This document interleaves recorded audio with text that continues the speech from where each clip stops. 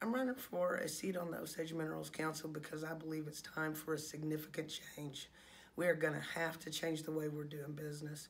We can no longer take what's doled out to us. We have to be more proactive in how we approach our business. Uh, I think it's time to have professional people on board.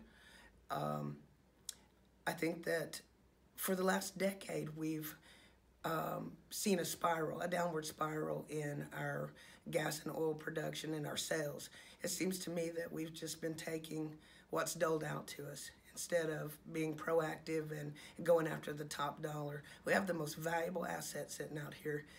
Um, and this council has the duty to act on behalf of all shareholders and get the highest dollar we can get. And that's why I'm running for the Minerals Council. My education is, um, well, let me first say that I was born and raised in Hominy. I graduated from Hominy High School in 1986. I went to the uh, to Northeastern State University in Tahlequah, where I graduated with a bachelor's degree uh, in 1991.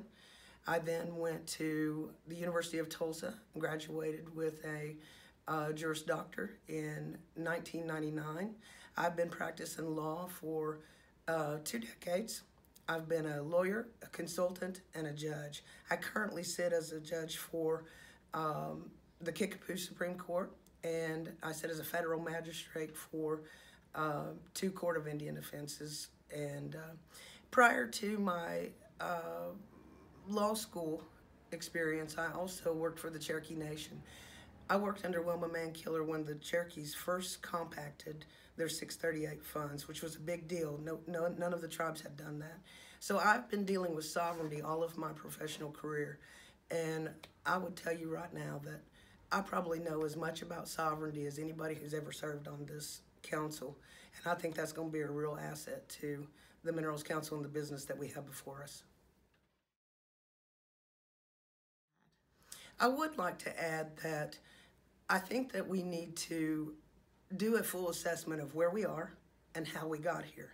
I think we also need to um, create a strategic plan that works for the future, that works for future generations.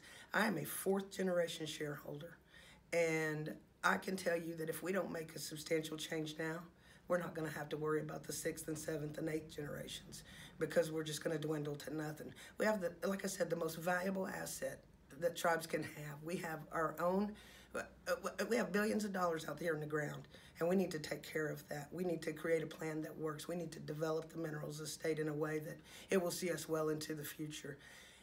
I believe that when our ancestors said everything they did was for the future generations, that we should live that way now. We should do what is required for protecting everything we have, our culture, our minerals estate, our, our government. We need to do everything to prepare for the future, to, to make sure that our future generations are well taken care of.